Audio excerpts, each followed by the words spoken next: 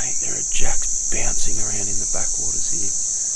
Can't get deep enough in there though. You can see the ripples coming out, but it's still about three metres. Oh, he's still going in the back. Mate, he's cracking at something, eh? Oh, he got him! He come out and grabbed me. You little beauty. He came about four metres out to grab that. Oh, I dropped him. the keenest jack you've ever seen. Less than a foot of water. That is mental.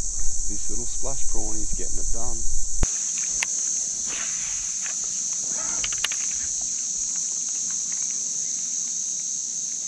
Oh, big one. Oh, look at that. Come on. God. Oh, got it.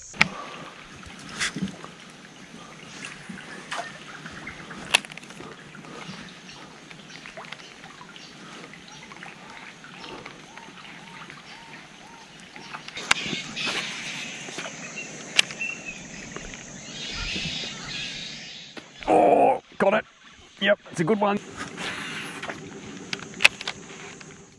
Oh!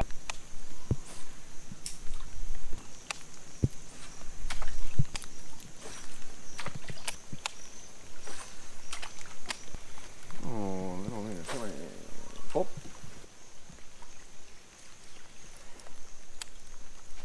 Welcome back to my lure box. In today's video, we're jack fishing in the rain. I'm getting wet, but loving it because I'm fishing top water lures and it's not something that I do very often, but it is effective. And I've had questions over the years about fishing during the rain and uh, sometimes it can dirty the water up and things can go a little bit sour.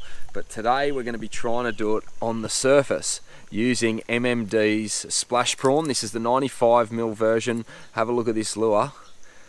Look at that for a perfect imitation of a prawn or a shrimp coming across the surface.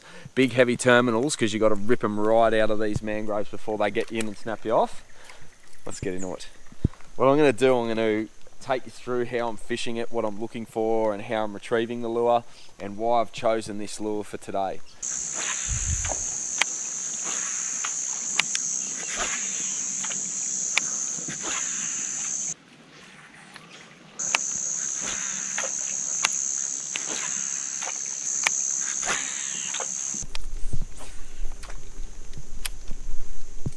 Oh! Snagged. He just hit it at exactly the same moment that it just snagged up. That is the worst luck. Exactly the moment it snagged up, he just smacked it.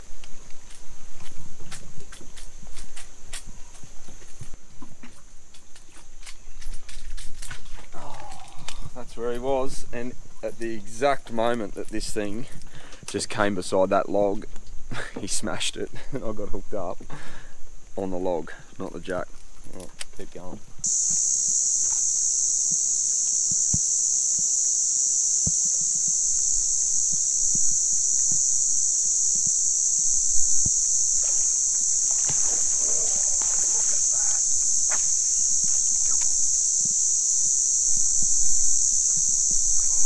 Oh, got it.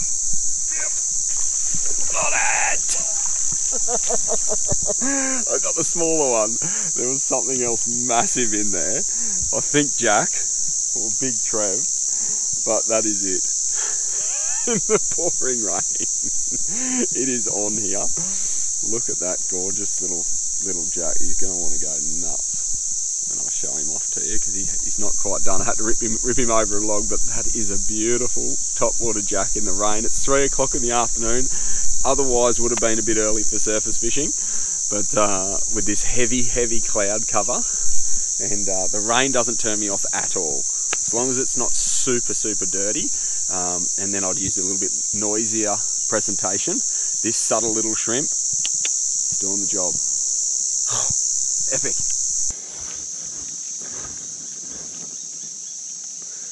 Let's try and get that out as best as I can, buddy, without ruining your gorgeous little jaw. Come here, mate. There we go. That's it. Out it comes. Oh, little tank jack. Go on, buddy. God, they're quick. How good. There was a much bigger jack in there, eh? A much, much bigger fish that we just hammered out and caught some bait. I think it got it, eh? Because it all finished really quickly. And um, I think that was enough to turn on one of his mates. I don't even know if you can see this because the rain's coming down so hard. My goggles are fogging up a little bit now and the, the cameras are going to find it difficult to keep filming in this, but I'm going to keep going anyway. While the bite's on, let's get after it. Mate, that was in like, that was in like 20 centimetres of water. They're just pushing right up into this little mangrove gully, just squeezing the bait into this back corner, eh?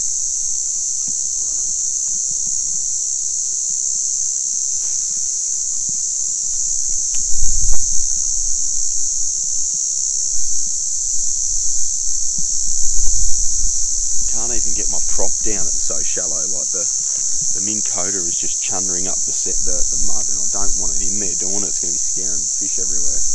All right, so this has got to be one of my favourite types of fishing, chasing them with a heavy bait casting outfit. So I've got my 200 Curado with 20 pound braid, 20 pound leader, and it's on my five foot six, eight to 10 kilo, short as heavy sticky bait casting rod. And the reason why I'm using this is to pull them out. So the jacks give you no time between crashing on the surface and then dragging you back into the mangrove. So you've got to have a little bit of punch in your rod to be able to rip them out. And um, the 20 pound line tends to do it for most of them. So let me show you how I'm doing it. Hopefully the um, the audio is not going to get too drowned out here. I've got a mic on and it's uh, it's looking pretty worse for wear at this point because of the rain, but it's keeping the rain off the screen. So hopefully that's going to work. All right. So the whole thing comes down to casting accuracy and then giving it time to sit there. So there's jacks in amongst these mangrove roots, and as this tide's been receding, the the bait's starting to get squeezed and squeezed and squeezed before it has to come out of the out of the mangrove fringe, and then the jacks are waiting there, either pouncing from the outside or they're tucked in behind in the shadows made by those lines, the mangrove roots. So they hold in behind the mangrove roots, and sometimes you can see them sort of just poke out or nip around and grab your bait. So, oh, there's one there now. just boiled it while sitting there. It's followed it all the way out. So, what a great segue to talk through this because one of the most important things after casting accuracy is giving your topwater lure time to pull the jacks up. And it's easier in the shallows, but um, one of the things that I, I think people that come from, you know, bass or especially trevally or Saratoga fishing, they don't give their topwater lure enough time in the strike zone. So even though jacks are one of, if not the most aggressive take on the surface, um, when they hit, sometimes it just takes them a while to make their decision or to find it. If you think about those mangrove roots, it's like a crazy maze in there, and sometimes they'll come from three or four meters away down in the back of a mangrove if they hear a top water lure or something scuttering or moving across on the surface. And you want to let the ripples get out, call them in, and then your lure needs to be close enough to those shadows or the structure for them to, to bite. So that's it. You want casting accuracy, you want time in the water in front of the fish, like right in against the cover.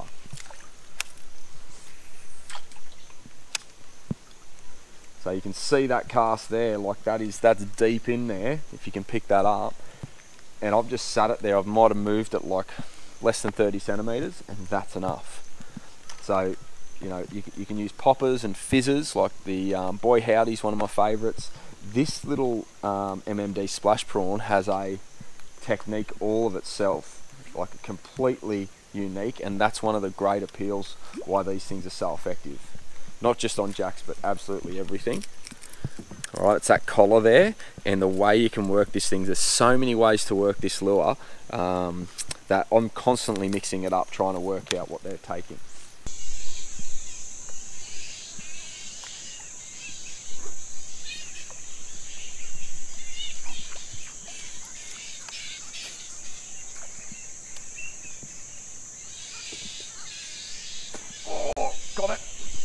good Oh, dropped it.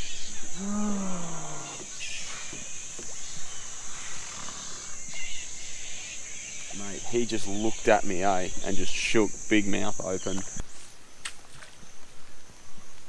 You can hop it backwards in under the snags and just and just sit it there, and without even moving it, the jacks know. As soon as anything hits in there, anything drops, hits the surface, the jacks are onto it, and if they're not spooked, they might just be ready to take it. Oh, there's one under there. Literally, I just pulled it and, and I just saw something flash, and there goes some bait. There was a little, a little gold red colour come underneath it. Maybe, maybe a baby jack.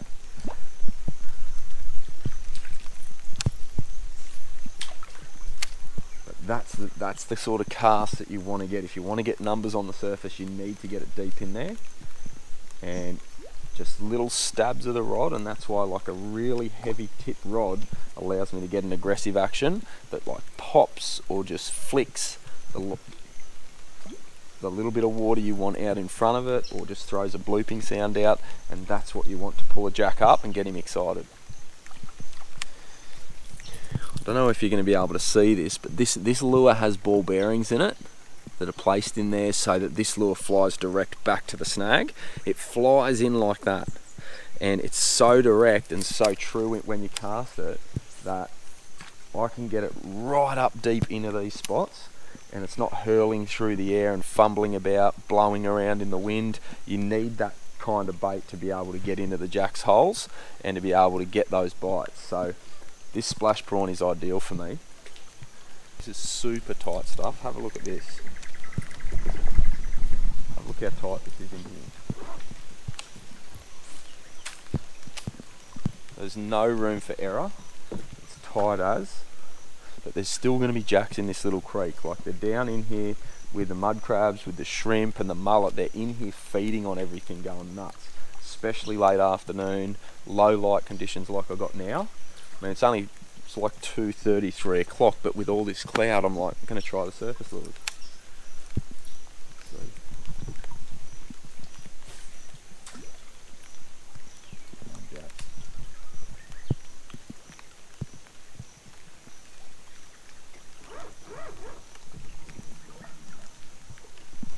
There really isn't any creek too small.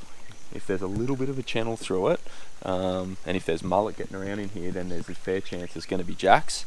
And uh, if you get them during the heat of summer, the water temperature's up, you can definitely get a surface bite late afternoon, no dramas at all. Ideally, you know, late afternoon, really early morning, they love the surface bite.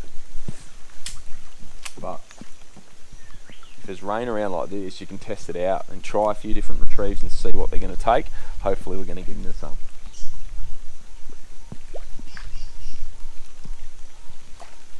It might just mean that you slow your retrieve down if you're not quite confident that they're busting hard. The great thing about this lure is you don't have to like pop it or, or get it to spit out in front of you like a little prawn. You can just slow roll this thing and that that retrieve like that looks perfect just perfectly imitates a little prawn or whatever moving through the water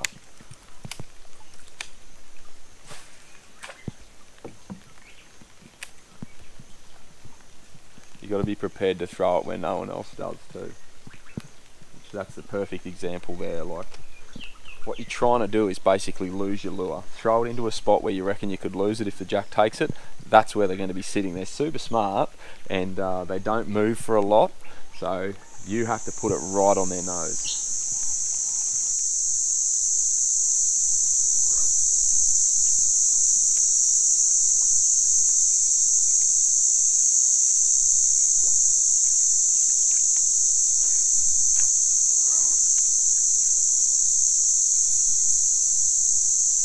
Oh, big one.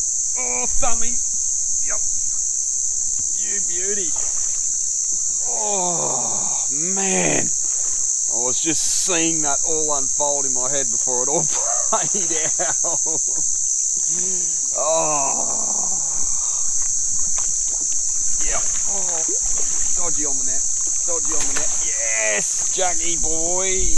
Let me show you this. Oh, just get these hooks out of the net.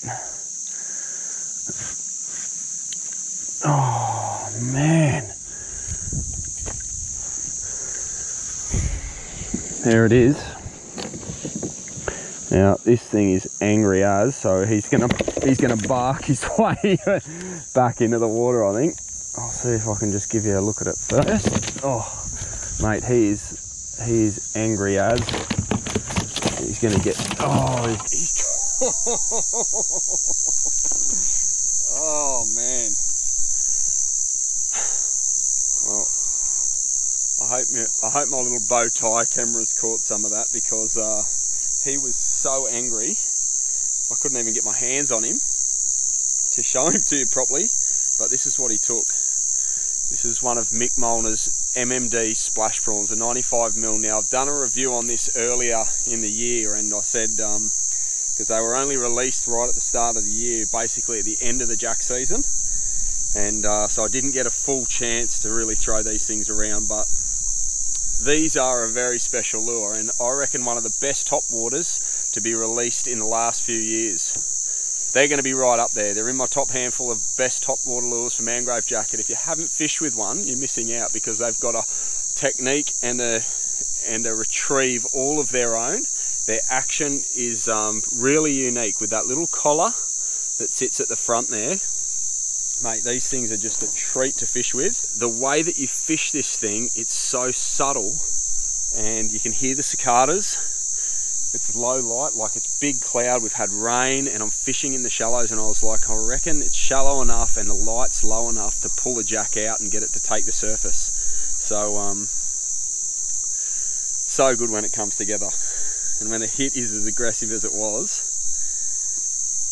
really satisfying stuff. The profile on this is just so unique. I just love it.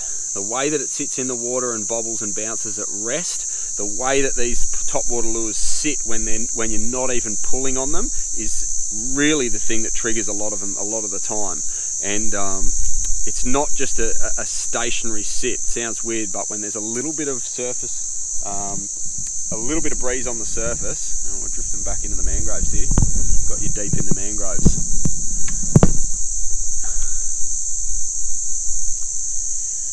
When there's a little bit of disturbance on the surface of the water, like that's all it takes and to have these lures just bounce around supernatural, um, I think it really makes a difference. You know, big heavy top water lures that just let the water wash over them and they sort of sit down in the water, you can definitely get better lures than those. This is one of the lures that's real floaty, like a G-Splash. They all have a similar attribute and um, man, epic, epic. Right, if you haven't seen that review, I go through this thing in detail. I get another jack or two jacks in that video as well, so I'll link that at the bottom of this video. But boy, these things are just dynamite. And Barra too, they got nice heavy terminals on them and some balls perfectly seated inside of that lure just to make it sit so naturally like a prawn at rest and then move and flick and create a little sound that's just like a little skipping prawn. Closer than anything I've heard before. Can you tell I'm excited? Jesus, that got me going. Keep going.